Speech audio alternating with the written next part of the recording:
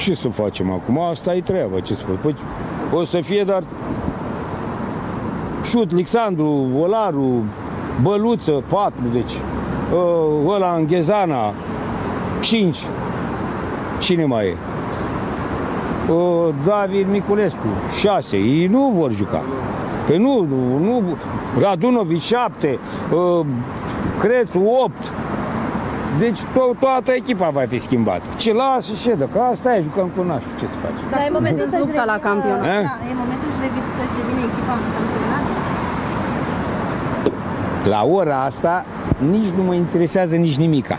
Ai văzut că avem două puncte, am zis ceva? M-am supărat ceva? Au alții două fără să... fără să fie. Nu?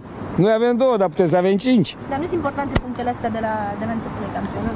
Eu știu că sunt importante, știu că sunt importante, sunt foarte importante. Numai că eram, citeam, uh, o, s-a făcut așa o, o analiză și că o echipă care poate trece în primăvară europeană din Liga Campionilor poate câștiga 70 de milioane de euro. Păi noi o putem face. Adică ușor Dumnezeu o putem face. Și atunci dacă câștigi bani, zeci de milioane, aia nu mai ai treabă.